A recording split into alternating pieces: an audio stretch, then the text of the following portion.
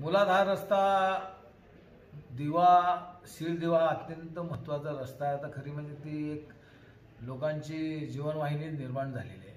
ठाणे महापालिकेची जबाबदारी तर आहेच परंतु जे लोकप्रतिनिधी नगरसेवक म्हणून काम करतात त्यांचं खरं एक लक्ष देणं काम आहे.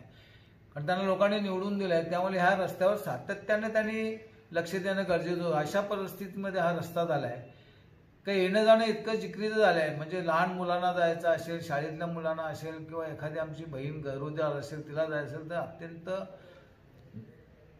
घाणेरड्या पद्धतीचा रस्ता हा एक ह्या वेळेला झालेला मी आमदार असताना तो रस्ता अत्यंत मजबूत होता.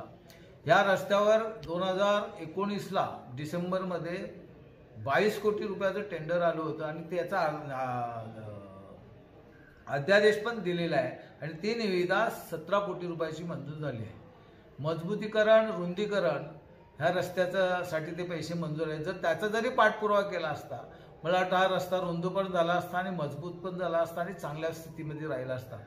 निष्काळजीपणा केल्यामुळे दुर्लक्ष केल्यामुळे हा रस्ता अत्यंत वाईट परिस्थितीमध्ये निर्माण झाला म्हणून महानगरपालिकेला मी पत्र दिलं आहे का यासंबंधी जर आपण त्वरित रस्ता दुरुस्त केला नाही तर मला आंदोलन करावं लागेल.